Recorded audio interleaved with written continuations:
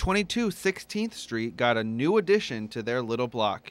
You can pick between 16 different yogurts, 16 dry toppings, and 18 different fresh toppings, including six different kinds of fresh fruit.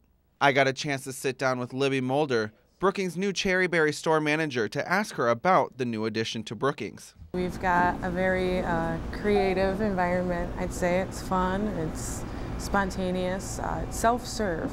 You can choose whatever you want. And the, there's endless combinations, basically. I figured out the other day, um, actually one of my staff members did, that to try every single combination of just the yogurt at Cherry Berry, you'd have to come here twice a day for half a year.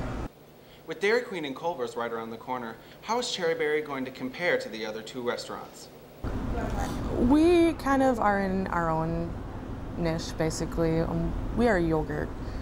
We are not ice cream. I mean, we are self-serve yogurt. Um, one thing uh, that we do pride ourselves on is how healthy our yogurt is and how many uh, uh options we have for people with different diets. We have things for people who are lactose intolerant, gluten-free diet. You know, we have most of our yogurt is low-fat or non-fat.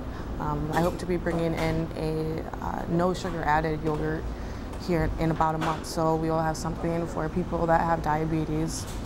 Once you pick your flavor or flavors of yogurt and your topping, just place your dish on the scale and you pay by the ounce. Cherry Berry is a self serve yogurt shop. Sampling this yogurt before you make your final decision helps you decide what is going to satisfy you. With What's New in Brookings, I'm Bradley Schoreit, SDSU Journalism.